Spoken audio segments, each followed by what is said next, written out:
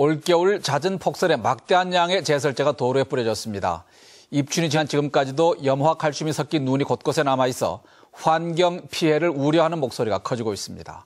백승호 기자의 보도입니다. 도로변 가로수 주위에 눈이 수북이 쌓여 있습니다. 눈이 내릴 때마다 제설 차량이 도로에서 밀어낸 눈입니다. 날씨가 풀리면서 눈 녹은 물이 가로수와 화단 주변 땅 속으로 스며듭니다.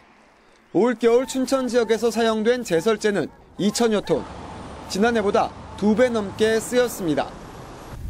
도로에서 걷어낸 눈을 쌓아둔 곳입니다. 눈 속에는 이렇게 쓰레기 등 각종 이물질들이 적지 않습니다.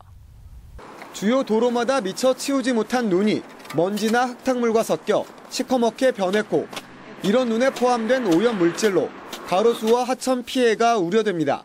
뭐 연구라든가 어떤 그런 쪽으로 지금 나온 건 없어갖고 네 저희도 뭐 딱히 어떻게 말씀드리기 좀 애매하네요.